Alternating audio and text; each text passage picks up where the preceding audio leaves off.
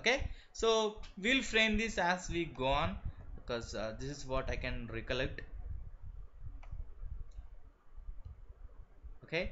This is what I can recollect and we'll see if we can get any other things here. Alright. So yeah. We have this blogger guestbook phone book message app I mean sorry uh, we have our database ready here. So now the first thing is create table so table name. You see table name is users. Don't care about this. It doesn't matter. You can always add fields on the fly. And you see here storage engine. You see MyISAM black hole CSV memory archive InnoDB. So I'll go with InnoDB because InnoDB has a strict foreign key support which I really like that. Alright so the next thing is every table should have an ID and ID should always be int depends upon your requirement and its length I always give it as 10 okay? It's more than enough. Int 10 and for ID it's always good. Okay? Then you see this default here. You can define the default value which we'll be seeing later. Okay? And collation no problem. Don't care about it. You can ignore that the next is attributes. Okay? So let me come back to the class here. So just the attributes are binary unsigned unsigned zero fill on update current stamp. Okay? So let's let's get back to that that part. Oh you want me to use a query? Well yeah I can I can use a query but you know I'm, I'm, I'm talking about the easiest way. Like you, you can really use a query. Okay let's let's do in that way. Okay fine. Because if I have to use a query I have to explain what is null what is primary what is auto increment. So which I can do it on the fly using phpMyAdmin so that's the reason I have chosen uh, this particular phpMyAdmin so what we do is okay let's do this. One table with phpMyAdmin and one table with a query. Okay? So let's go first with phpMyAdmin so that you know we can next time you guys will be familiar with you know what exactly is a primary key or what is uh, you know this particular zero fill or whatever it is. Okay? Fine. So let me just jump back to the class here and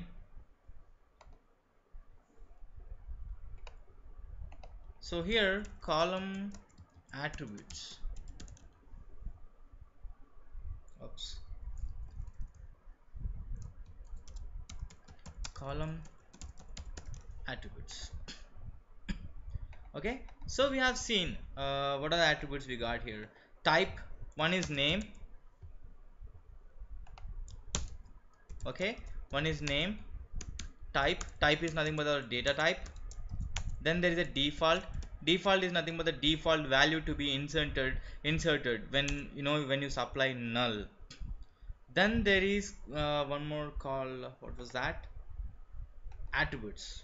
There is an attribute called attributes. Okay we stopped here. So it has binary unsigned unsigned zero fill and some other thing called uh, on update current timestamp so what exactly these mean so okay, let me start from unsigned so every integer value for instance you go to rule numbers or uh, what you call you go with IDs student IDs did you ever see a student ID with a negative number? Did you ever see? Yeah? Did you ever see a student ID with a negative number? No, right? But uh, how about temperatures? How about temperatures? You have seen negative temperatures anywhere? Great. You have seen negative temperatures and you have seen positive temperatures, right? How about uh, relative data? Like say uh, this month my sales is 100 next month my sales was 50 so what is the drop minus 50 negative numbers. So when you have to decide between your integer types do you want so do you want a signed integer or do you want an unsigned integer? When I say unsigned integer that means it's only positive values. Okay? So if you don't check that it means it can take both negative and positive values. Unsigned so when I select unsigned that means this takes only positive values.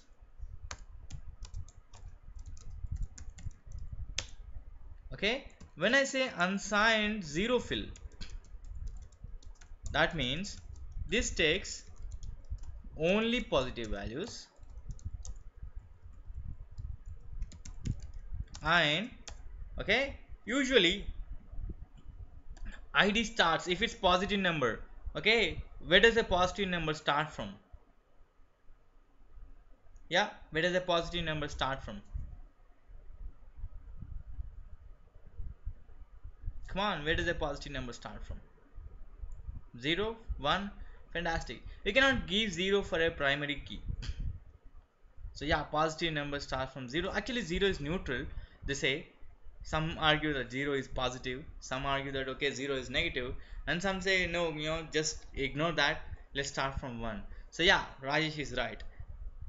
So the positive number starts from 1 so when you take when you say okay this particular number integer is unsigned zero fill then it will look something like this. What is the length we have given there? What was the length we have given there yes. Integer length. You guys can remember? Did you guys remember? Okay let me just fly back to my screen here. So what's the length there? Still no idea?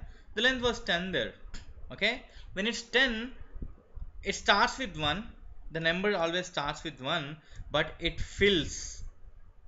It fills with zeros behind it. So the next number will be something like this. So zero fill. You want positive numbers and you want to fill it with zeros behind I mean uh, zeros in front of it in front of the number. And binary uh, well I've, I've never uh, come across to use binary. This is used with uh, the data type uh, blob. Uh, blob binary I don't recollect that too. I'm sorry I'll, I'll tell you guys whenever whenever I recollect. So blob blob is it we don't we don't really use blobs. Okay? So that's the reason I don't recollect it. Alright? So yeah that's about attributes. Okay? Name is nothing but the name of your field. Type is nothing but the data type which is to be used. And there is length and value. Okay there is this right so length or value will you know we have to give a length or a value. Okay we'll talk about value when we talk about enum. Oh I did not discuss about enum right? Okay I'll talk about enum now. And default uh, the value which is to be inserted inserted when there is no data to be inserted. Like a default value. Alright so that is it. Uh, that's gone there. And what else we got here? Then null. There is null with a checkbox there. Okay? If you check that that means it, it will take the default value as null. Like is null accepted okay? So even you, you can see here in default field. When you, go in default it has a null too okay? It has a null too it has none. It has as defined and it has current timestamp too so we'll be talking about these all values. So the reason why I told you know this PHP MyAdmin is easy because it has everything right there. You don't have to crack your head to think okay now what should I give? And you won't miss anything here. You won't miss anything seriously. You won't uh, if I have to write this query as a query let's say then I may miss out some things. And later on I come back and I just alter the table. So that's the reason I have picked up PHP MyAdmin